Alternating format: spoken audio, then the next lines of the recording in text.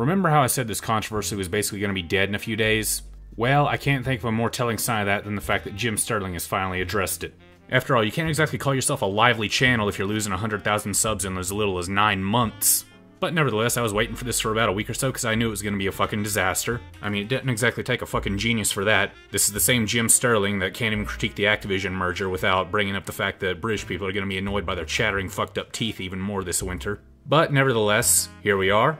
And well, I did this little shitpost where I said that you could decide whether I actually respond to this or not, and you all hate me enough to want this, so fuck it. We're going for it.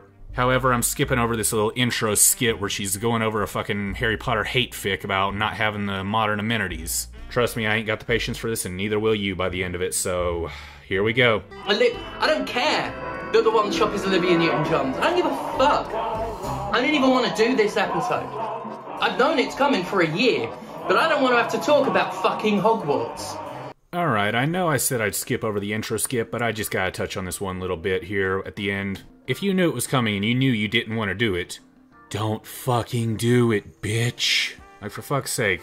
I know one of my friends, he was probably waiting on me to rip into the fucking Ruby Justice League, whatever fucking shit show that's gonna be. I took one look at the trailer and I was like, yeah, this is so boring. I can't make anything funny out of this. I'm not gonna bother. I'm not gonna watch the movie, obviously. I'm just not gonna do any video on it, no matter what. And I told him all my reasons in a Discord conversation, so yeah. Problem solved there. I'd ask why the fuck you couldn't practice some of that energy on yourself, but of course, why would I expect that? Eh, I guess I shouldn't complain, since it's free content, but still. Right? I made my peace with the Harry Potter series. I made my peace a long time ago. But it's inevitable. It's here, and we've got to talk about it. We really wouldn't have to talk about it if the fucking extremists that made this controversy into such a big fucking thing in the first place would have kept their mouths shut and would have practiced a little bit of common sense, but that's expecting too much of them. So, here we go. The fucking Wizards game. Uh, warning, of course, for what you're about to see. Uh, there's going to be a lot of transphobic rhetoric uh, that I have to show you uh, in order to talk about some of this shit. Oh, oh, scary! Oh, oh, oh, oh, oh, shiver my timbers! Shut up, man! Or you could just, you know, leave it at the game itself, talk about its qualities, talk about the dumbasses that are making mountains out of molehills, and mainly point and laugh at the people that are trying to compare Jews to goblins, and act like they're not the fucking anti Semitic ones. You know, that's always an option.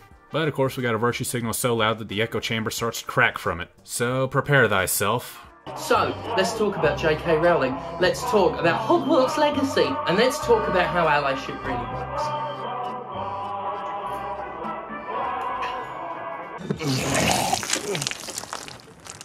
Oh, I'm just so glad that we ain't gotta see this fucking awful corset again. But by any chance, if this god awful look of hers, his whatever's, comes up again, you can rest assured I'm gonna replace the video with a bunch of random shit. Capiche? Capiche. J.K. Rowling is a transphobe. Okay. And that's her choice. And even if you do interpret all this bullshit as transphobic and such, whoop-de-doo. Like, I legit don't understand why anyone would take anything out of J.K. Rowling's mouth seriously after that whole controversy she made back in, what, 2018, whatever? When she suddenly decided to play revisionist history and make Hermione a black person, and there were more Jews, yada yada, in Harry Potter. Like, after all that, I'd just laugh J.K. off and leave it at that. Because, I mean, at that point, she's just having fun with her own IP. Because, I mean, why not have a little fun like that? Whatever you gotta do to make your retirement from life a little bit more entertaining. This is a fact. It's a fact I've never seen disputed in good faith, only challenged by fellow transphobes who have a pre baked line since these people read from the same script. What did she say exactly that's transphobic? A pretty fair question, since from what bare bones research I've done on the subject, it seems like she just wants basic women's rights to be enshrined, just like any activist in history has picked and choose whatever rights they want above all others. So how about you give us the answer here, Jim Bella? Rowling couches her hatred in plausible deniability, but her daily obsessive takes on us, her constant comparisons of trans women to men, her verbatim repetition of gender critical talking points makes her feelings clear. You know, Jim, you've always had a knack of sucking whenever it comes to pulling up tweets as evidence for whatever talking points you want to talk about. Like, fuck, my buddy talked about that one situation where uh, he was talking about Scott Cawthon and the whole Five Nights at Freddy's situation years ago, and they couldn't even show the fucking Twitter handle, so how do you know the tweets even existed? So, but here they're trying to make a big deal out of these transphobic tweets here and such, and it's pretty fucking clear they didn't even read them. Because all Rowling is saying in this one is that gender confirmation certificates are now being granted without any need for surgery or hormones. In other words, they're skipping parts of the process for actual ethical transitions. And there's no lie there because, yeah, there's kind of a rise in people not going the professional way about transitioning, which I'm sure we're not going to talk about later. Nope, not at all.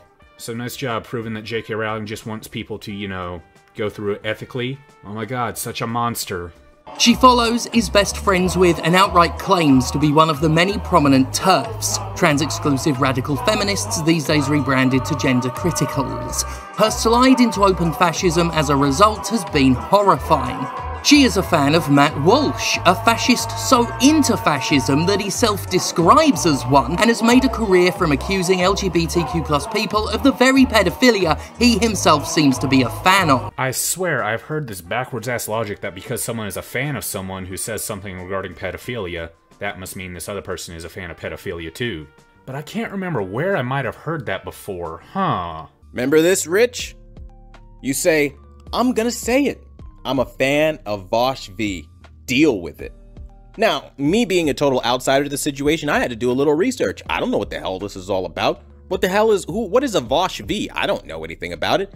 Come to find out this is another YouTuber that had a live stream where he was pro pedophilism and, you know, lowering the age of consent, targeting our children. Coincidence, I guess. And anyway, I highly, highly doubt that Rowling is a fan of Matt for those views, rather, views on certain other subjects. And even then, being a fan of someone doesn't mean you support every single view they have. And from what little I've seen, Rowling has had fuck all to say on this subject, so I don't know why you're even bringing this up when it has very little to do with her. Oh yeah, guilt by association, we're going with that cancer. Nice. She's liked tweets from the abjectly abhorrent Libs of TikTok account. Oh god, liking tweets. That means she's just one step away from donating money to this person and whatever views they have that are so controversial. My god, what is the world coming to? How could you, Rowling? a notorious right wing platform that outs queer people and is used to organise attacks against drag shows as well as threats against hospitals. She retweets unscientific drivel by queerphobes like Baroness Nicholson. She stands with Maya Forstater, who, after losing her job at a progressive organisation over demeaning anti trans comments, has dedicated her life to combating trans rights. Again, I'm gonna go out on a limb and guess that you don't even read these tweets that you're putting up in your video here. Or fuck, it's not even you doing it, it's your fucking editors, but still. Because Rowling's take on this is pretty fucking based. If you want to live your life the way you want to, go for it. But don't force people out of their jobs just for stating scientifically proven facts. And like I said, Rowling is picking and choosing women in this one, but still, it applies to literally everyone. She's literally standing up for an injustice. Golf claps. And as for the Maya Shah, whatever fucking name is, and how she's now campaigning against the trans people, oh well. That should be between you and the ballot box and has absolutely nothing to do with Rowling. The most she did was make this one defense, and then never again. She once sent accidental transphobic profanity to a nine year old girl after pasting a comment from an anti trans website she was reading and copying at the time. Alright, I've had just about enough of this bullshit bringing up all these random ass things that Rowling has done, especially when this one is a fucking accident, as you said. Holy shit. So yeah, I'm gonna skip over the rest of this cringe because I'm getting sick of it already. She herself has spoken against Scotland's gender recognition reforms, scaremongering, spreading out lies about law, simply making trans tiny easier. She's suffered the most defended accusations of phobia, literally campaigning against our basic rights and legal dignity. And she is obsessive. Scroll through her Twitter and you'll find that she thinks about trans people all day, every day. Nah, I think I'd rather use my time doing something a little more productive than scrolling through someone else's Twitter just for random ass examples that we can take out of context. But hey, you do you, and I'll tell you what, I'll throw you a little bone here. Since you like bringing up all these things that Rowling supposedly supports and is a fan of, she happily donates to Doctors Without Borders. What do you gotta say to that? Are the doctors now transphobe for accepting that money? Should people not go and seek out medical help out of fear of being labeled a transphobe over stupid shit? On second thought, I shouldn't really joke about that. That'd be the only way we'd ever see actual equality here. At first, she tried to keep up the mask of someone who supports trans people but just has concerns and wanted to protect women's spaces, a long-time gender critical dog whistle. Ah, there it is. My least favorite word to use in this entire subject dog whistle. Because God forbid people have concerns over things that are pretty fucking fair and evident. Again, from everything you've shown, Rowling has fair and just concerns over things that have happened, such as women being assaulted in bathrooms by trans people. Something I can relate with because that's happened in my workplace. A few times, actually. Where one day a man will just randomly decide he'll dress up as a woman and go into the woman's bathroom, and when the women rightfully complain about him, you know, not lifting the toilet seat up before he takes a piss in the toilet and such, then he assaults them, or creeps them out in other varying ways. Like, yeah, it happens. And people are concerned about that, and they have good reason to. I'm not saying that all trans people are to do that. Obviously. That's like saying all black people are to walk into a store and steal something. Statistics show that yes, that does happen quite a lot, and there's reason for concerns of it, but it's not every single one. She claimed her liking of transphobic tweets was just her fingers slipping. Jesus fuck, are we still complaining about the fact that she likes tweets? Holy shit, this controversy keeps getting even more desperate. The more I find out about it. Honest, and now she's an ardent supporter of Helen Joyce. While we're, while we're trying to get through to the decision makers, we have to try to limit the harm. And that means reducing or keeping down the number of people who transition. Every one of those people is basically you know a huge problem to a sane world like if you've got people that whether they're transitioned whether they're happily transitioned whether they're unhappily transitioned whether they're detransitioned if you've got people who've dissociated from their sex in some way every one of those people is someone who needs special accommodation every one of them is a difficulty Now, as you might have guessed, I don't know the full context of this, and I know damn well Jim has taken this out of context in some way, shape, or form, as the track record has proven. But as for that first comment about keeping the number down of transitions and such like that, all they're preaching for is more ethical means of it, and regulating it just a bit more. It's on the same level as people that campaign for a bit more stricter abortion guidelines and such. Because just like abortion, some people don't like the fact that women can just walk in, say, hey, I want an abortion, and the next thing you know, they got it aborted just because they had a fight with their boyfriend or whatever. And yes, that's something that's happened in quite a few people that I know's life. And a little bit of regulation on that front would be nice. Same thing with people, you know, wanting it and wanting it done ethically instead of, you know, sticking a coat hanger in themselves. I know this is a little weird that I'm going into abortion when we're talking about trans people and such, but it's the same principle. All they're wanting is a little bit more ethical and secure transitions. That way they can make it a little bit easier for the next time they have someone else who wants to transition. All this Helen Joyce, whatever the fuck her name is, is asking for is an easier time for the medical professionals who have to work on the trans people. Oh my god, such a horror. That's at least what I'm getting from it. But I'm sure I'm just transphobic for not accepting the fact that being against trans in any way means you're against them wholesale. That's someone J.K. Rowling agrees with, Platforms is a friend of. Indeed, the people Rowling champions are fucking monsters. Or they just have some legitimate concerns. And you could, you know, ease them if you have a civil conversation instead of spurging the fuck out like this. And blowing up the extremists who say fuck all the trannies. But once again, we're going by guilt by association, so of course we're gonna go all over the fucking place on this. And I'm gonna skip over the rest of this, because I've made my point pretty fucking clear. Here's GCP head posing up, presenting control women's bathrooms on the hunt for trans women. talking about you dads uh, maybe carry, I that's what you say, so down, you know, maybe you maybe don't, maybe you consider yourself a protector of women, maybe you're that sort of man, um, maybe you have a daughter or another or a maybe you're a sister, uh, maybe you're a friend, maybe you just think women are human, and don't need any absolute connection them to feel compelled to protect us. I think you should start using women's toilets. So much for women's spaces for women. Of course, Rowling's right to smart. She doesn't call herself an outright repeating the violent sentiment. No, she says herself laughing at us. That's why I will never tell this to anyone, so hopefully not with a transgender person. this is such a pleasure Her slimy, cowardly behaviour goes back years. What's shown in this video so far is just from stuff I started collecting in the past year because I knew this subject was inevitable. While she's been careful enough not to use plainly direct hate speech, I don't think her deniability is close to plausible anymore. Probably because you've been reaching more than a fucking limo at this point. Because again, all I'm seeing is legitimate concerns that could be, you know, thoughtfully debated about. Look at the lies she tells, the fascists she supports. Look at how much she talks about us. This is not what someone who doesn't loathe us does. This is the activity of someone with a genuine, deep seated problem. If that's the way you actually interpret this, have a conversation with her. Break it down why she's wrong in a civil manner. Critique her points instead of complaining, ah, transphobe because it is one supporter of yours or or this one thing that you like that someone else said. Boo fucking who? Also, I'm 99% sure she wouldn't be talking about the trans people as much if she didn't have so many of them constantly coming to her complaining about the same nothing burgers, but hey, that's just my two cents. You don't have to believe me. You can believe the Harry Potter cast members who've condemned her. You can believe the historians who've catalogued a clear timeline of her descent into frothing bigotry. Or, if you'd rather, believe the Republican politicians who are actually citing her words in their anti-LGBTQ plus legislative efforts. Believe the virulently right-wing male supremacy group Honey Badgers who call JKR their queen. Believe the photos of her at GC meetings. Believe the trans exclusionary women's shelter she set up to replace the trans inclusive women's shelter that her movement bullied and harassed out of operation. And that's three times, and we are out of here with this whole guilt by association trip. Because, well, yeah, you can believe the actors have said, yeah, that's fucked up for her to say. And some of my friends have even said she said some fucked up things. I'll take their word for it that maybe she has said some fucked up things about trans people, and maybe she does have some things that need to be worked out. From everything I'm seeing, though, I'm more than willing to give her the benefit of the doubt. Especially since the alternative is guilt by association again. Since all of Jim's examples on the other side are things that other people have said, other people quoting her, other people saying that she's a queen that totally can't be a joke at all. No, not whatsoever. Or the fact that she supported a charity that just so happened to be more well liked than the alternative. How dare she, I know. Or maybe just believe J.K. Rowling when she says it is dangerous to assert that any category of people deserves a blanket presumption of innocence. She's exactly right. People shouldn't be given the blanket presumption of innocence. Yes, I do believe in the concept of innocent until proven guilty when someone is accused of committing a crime, but that's not what we're talking about here. Instead, all she's saying is that there should be no one above any form of critique, which she's right on. I don't care if someone's white, trans, black, gay, or even a fucking alien. At the end of the day, we're all human, and humans are shitty to each other, so it's not exactly an unfair concept. Hell, she even says it in this tweet that you're quoting right here. How did your editors miss this? They have to be trolling you at this point, Jim. She's outright saying that this kind of extremist behavior is something that you would hear from fascists like the fucking Nazis. Holy shit, you are so fucking dumb, Jim.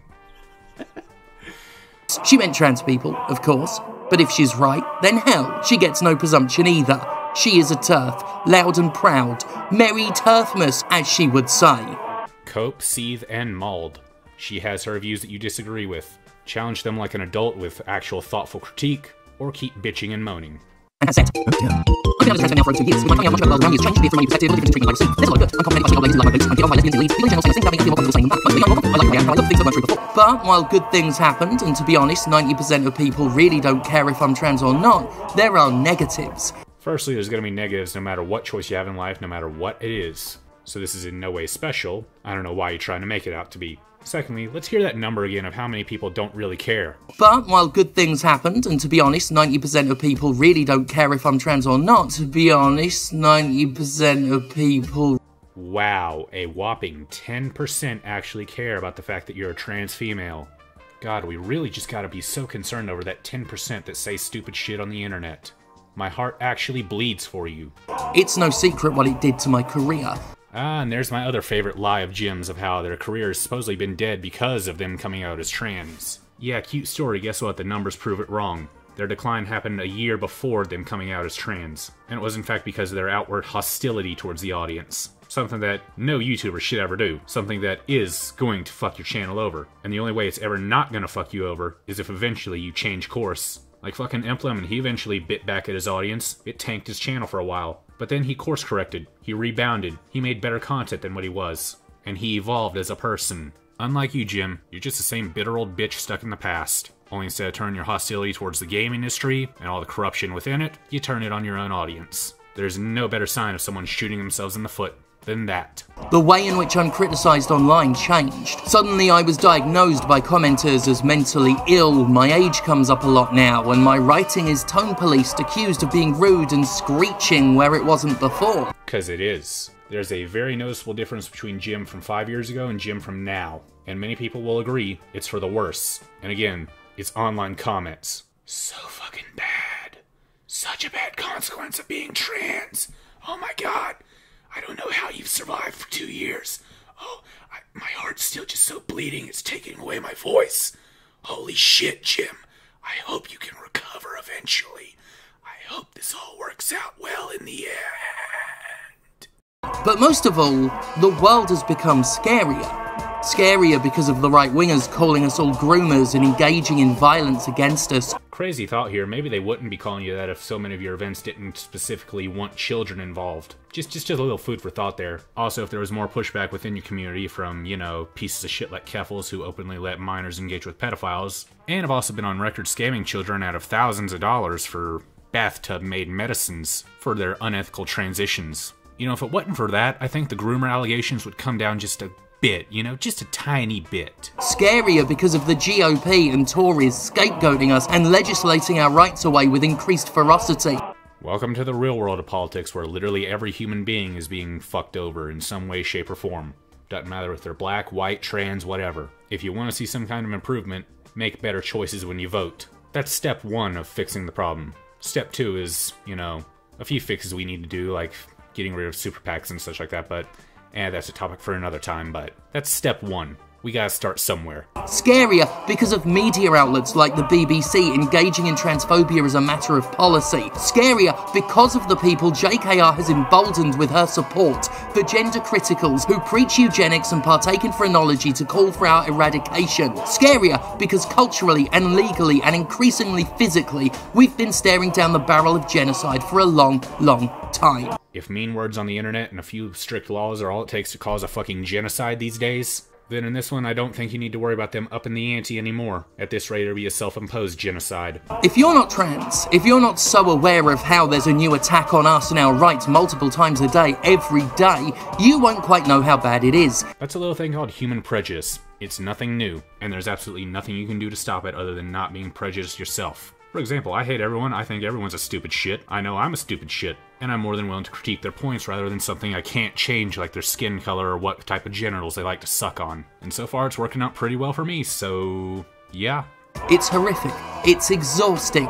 We're less than 2% of the population, but we're called an epidemic. We're demonized in the press with extremely disproportionate coverage, and wealthy, powerful people like JKR can't stop thinking about us. Look, some people might be delighted to hear this from me, but I'm going to admit it plainly. I'm afraid. I'm really, really afraid. And every day, for months, I've seen a video game that directly benefits one of the largest sources of that fear promoted on the PlayStation Store and Xbox Live, hyped up by the gaming press and championed by a community with a long running vein of transphobia running through it that goes back to the hateful protests against a bit part trans NPC in Dragon Age Inquisition. I have no comment whatsoever on that absolute drivel about the Dragon Age NPC. But last time I checked, it was the trans activists and such that kept making a big deal out of this that kept saying so many people were going to be transphobic, that kept begging people not to buy it, not to play it. Meanwhile, the actual trans people that benefit from donations to things like the Trevor Project and such, well, they haven't cared, because they know it's just a fucking video game. And unlike you, they've been able to figure out that Rowling has absolutely nothing to do with this game.